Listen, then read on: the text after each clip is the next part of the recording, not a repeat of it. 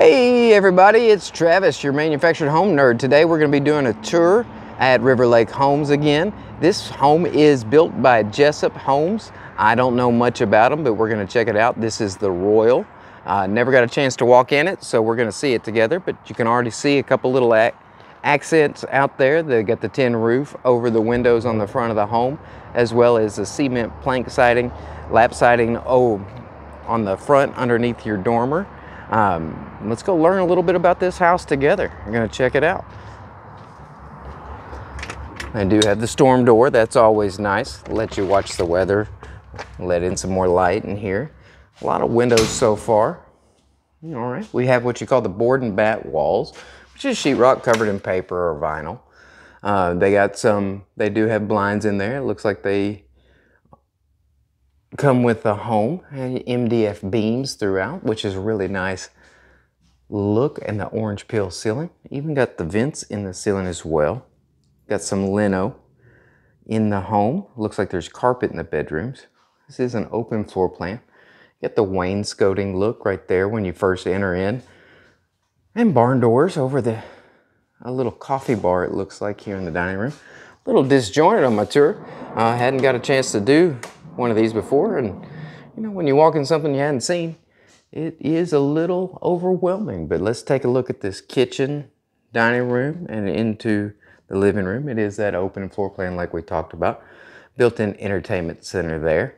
And it coming into the kitchen you got kind of the waterfall island as they call it. A little step down room for a lot of stools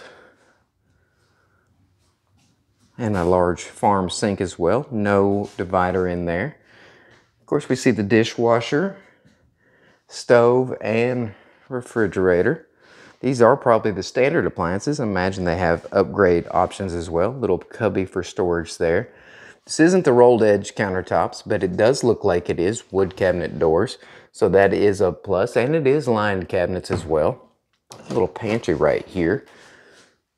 Got your three shelves for wire racks, space to put your crock pot and macaroni and cheese and Chef Boyardee, other things like that.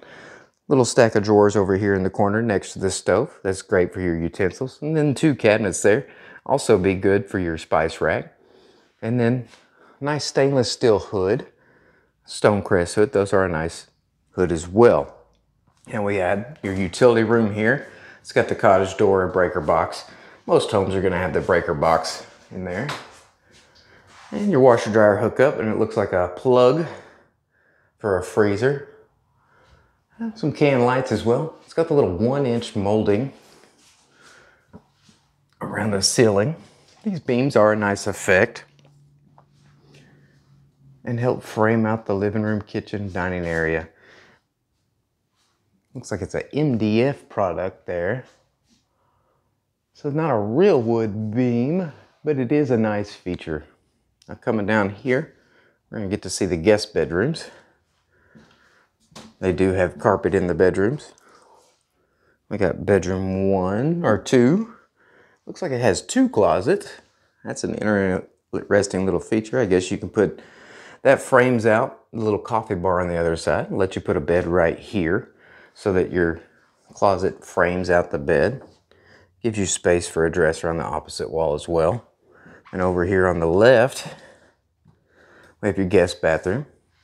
Does have ceramic sinks and a plastic faucet. And then, but you do have the fiberglass tub shower combo and an elongated toilet. A little shorter, but hey, I'm sure they have the handicap options as well. And then off here, we have bedroom three. It's got a nice little corner closet there. That little bump out in bedroom two is apparently for the AC. And then we're gonna see, looks like we got five bedrooms total, so that's really nice. Here you got bedroom four, another little corner closet there, and a Jack and Jill bathroom in between the two. That's always a nice feature. Little one sink in there, tub shower combo. Not really sure what options they have to change in this bedroom or the bathrooms, but it is something that's pretty nice. Another little closet. And then it looks like there was a closet here as well. So you got some extra storage for linens. so far, I'm really liking the layout. Um, just wish I knew a little bit more about this home to kind of tell you more. It does have a pretty good feeling in it. Um, not super echoey. The floor's not squeaking or anything like that, so that's always a good thing. It looks like this is a super large bedroom. Easily got space for a king size bed in here. And I'm sure they have some different color options. Now this closet is full, looks like insulation and other items for the trim out. But you do have it double racked here and the wire shelving throughout at the top. All right, let's go check out the bathroom. So far I see a large deck tub, the built-in counter around it, and two windows around. I believe that's plastic over there, so those should be translucent.